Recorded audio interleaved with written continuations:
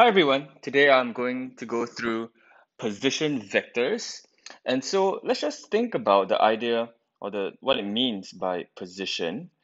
Basically, position vectors is a vector that allows me to tell the position of some point.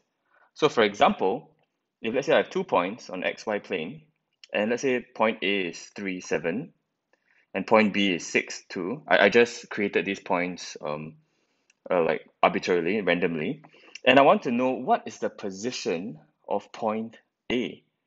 So of course you'll be asking position of point A, but with respect to what?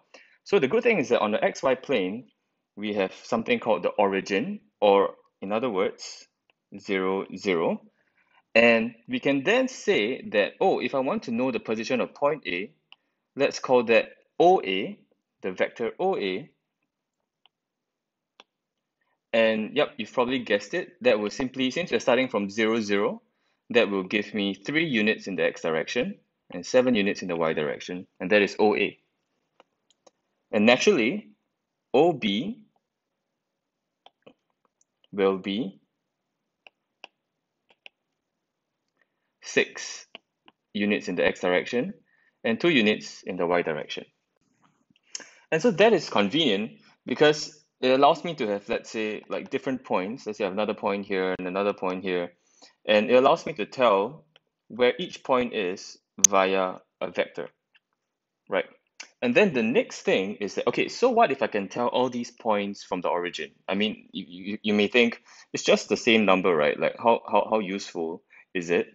Uh, but the thing is, let's say I have many, many points, and now I ask you, what is AB I have two points A and B, and I want to say, I want to get from A to B.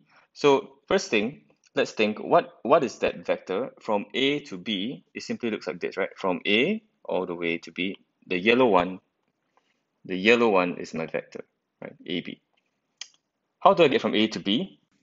And here we see the power of position vectors because you see that all the vectors OA, OB, they share the common point O. So if I want to get from A to B, all I have to do is from this point, the starting point A, can go to the common point O, and then I go to my new point, right?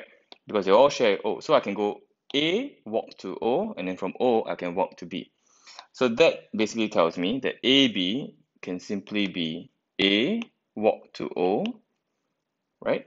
And then from O, I walk to B. And what is AO? AO is simply negative of OA, right? AO is simply OA but negative, so I flip it around.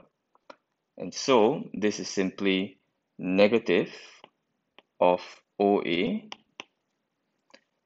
and I add OB, which is from the top as you can see. And this gives me AB, which is simply uh, negative 3 plus 6, that gives me 3. And negative 7 plus 2, that gives me negative 5. There we go. So that's the power of position vectors. You can have many, many points, point C, point D. And, and you can say what is CD? You simply go from C, go to the common point O, and then go to D. Or what is AD? You just start from A, go to the common point O, go to D. You can always use the common point O to get from one place to wherever else you want to go to. That's position vectors.